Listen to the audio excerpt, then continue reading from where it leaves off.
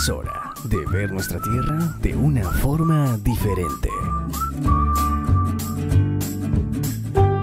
Alexander Botía, 102 a la cámara. Y la administración del municipio de Arauca se tira la pelota, como se dice popularmente, entre la Secretaría de Gobierno y la de Agricultura para los recursos que se necesitan para darle una solución a los trabajadores de tracción animal que existen en la capital. Hasta el momento no hay ninguna respuesta.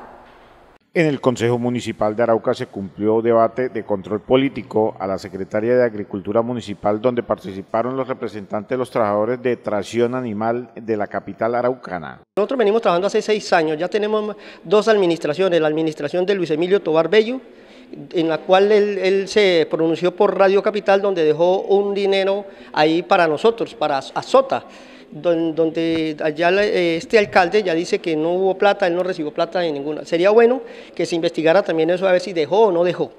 Eh, por otra parte, eh, nosotros metimos una acción de cumplimiento donde el alcalde le dice al juez que él, viene trabajando con nosotros, donde hay asignados, empieza a trabajar con 500 millones, en el cual va a empezar una fase 1 y fase 2, porque así fue nosotros habíamos quedado comprometidos con él en, la sala de despacho del alcalde. Para la asociación de Azota, ahora no existe recurso para cambiar de las zorras a otros tipos de vehículos. Ahora no hay dinero, o sea, hay platas y las mueven como en una subasta, de mesa en mesa, y la cambian. El consejo ha estado eh, avalado con nosotros, nos ha estado acompañando y nosotros entramos en un plan de desarrollo.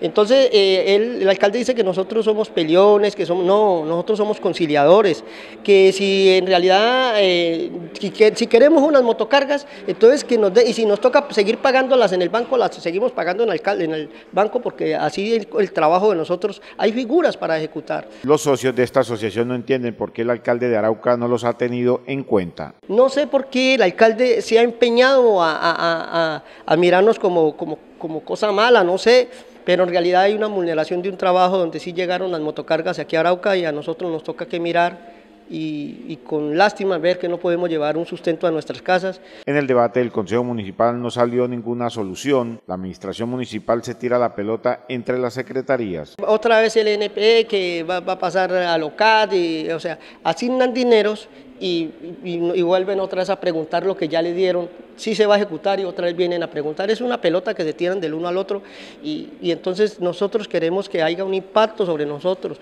porque hay nosotros estamos, no nos pueden tirar a la ilegalidad. Ahora habrá que esperar si esta administración municipal les cumple o pasará otro periodo y de aquello nada.